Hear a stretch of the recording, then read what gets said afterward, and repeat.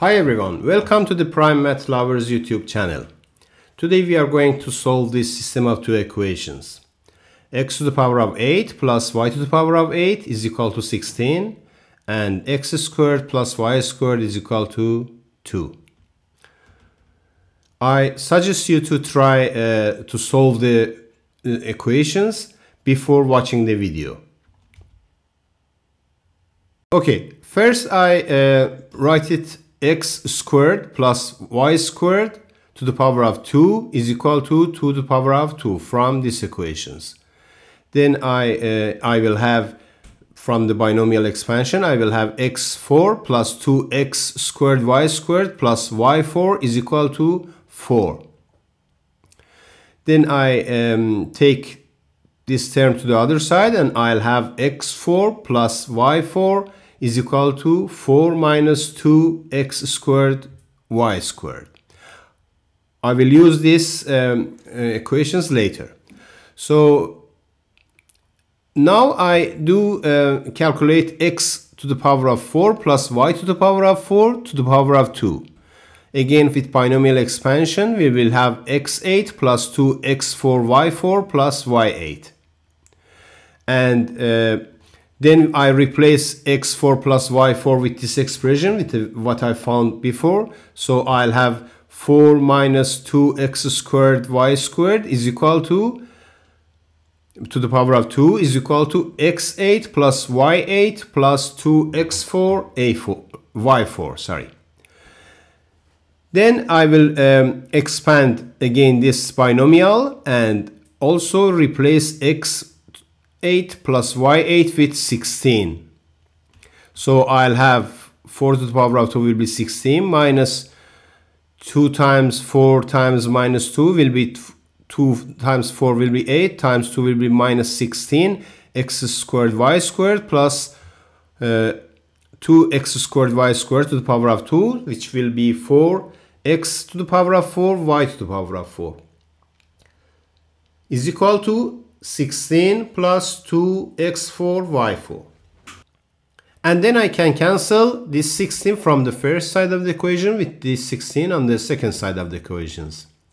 And if I take this 2x4 y4 to the first side we will have 4x4 y4 mine, uh, so I write it down minus negative 16 x squared y squared plus 4x 4y4 minus 2x 4y4 is equal to 0. 4x 4y4 minus 2x 4y4 will be 2x4 x4y4. So 2x to the power of 4 times y to the power of 4 minus 16 x to the power of 2 y to the power of 2 is equal to 0. I divide both sides of the equations by 2 so I'll get x to the power of 4 times y to the power of 4 minus 6, 8 x squared y squared is equal to 0 and I if I factor out x squared y squared I will have x squared y squared times x squared y squared minus 8 is equal to 0. Now we need to solve this equation. We'll have two terms multiplied to each other equal to 0. So we will, I will set each of the factors equal to 0. x squared y squared is equal to 0 or x squared y squared minus 8 is equal to 0. x squared y squared is equal to 0. Also we have x squared plus y squared is equal to 2. So I can write y squared is equal to 2 minus x squared and I replace y squared in the first equation with what we I found from here. So what I will get x squared times 2 minus x squared is equal to 0. Again, I have two factors multiplied to each other equal to 0. So either x squared is equal to 0 or 2 minus x squared is equal to 0. If x squared is equal to 0, it means x is equal to 0 and if 2 minus x squared is equal to 0 means x squared is equal to 2 and if I square root from both sides of the equations I'll get x is equal to plus or minus square root of 2 if I have x is equal to 0, in, if I put 0 in this equations, y squared will be equal to 2. And this means y will be equal to plus or minus square root of 2.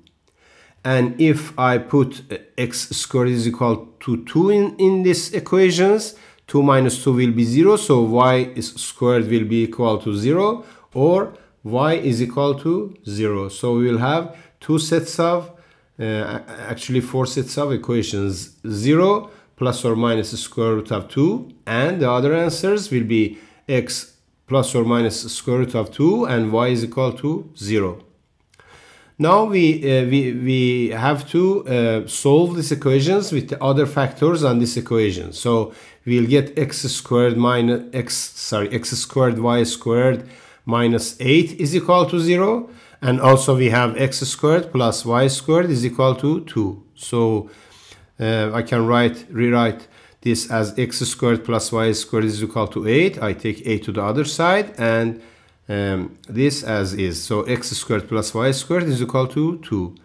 from here we, I can write down y squared is equal to 8 divided by x squared.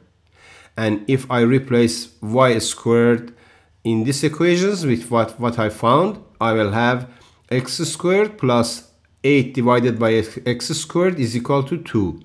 I multiply both sides of the equations by x squared and I'll get x to the power of 4 plus 8 is equal to 2x squared. And I take 2x squared to the first side and I will get x to the power of 4 minus 2x squared plus 8 is equal to 0.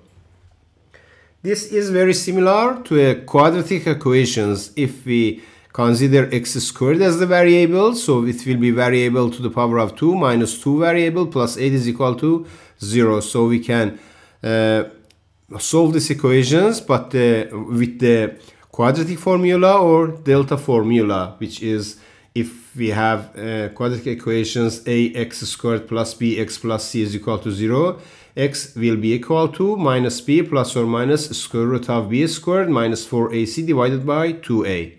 In our equations, the variable is x squared.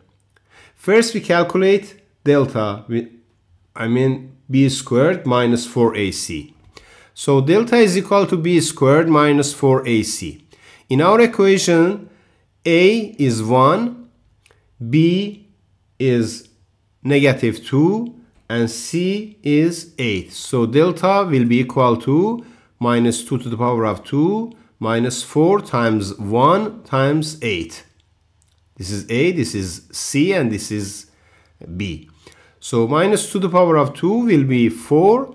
4 times 8 will be minus 32, and 4 minus 32 is minus 28.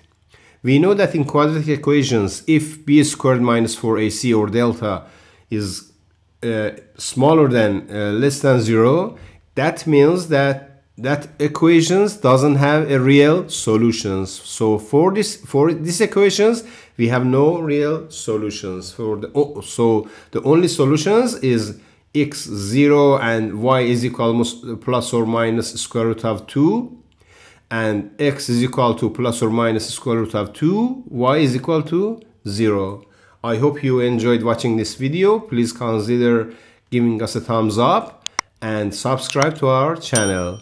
Thank you for your support. I wish you a fantastic time wherever you are on this planet. Cheers.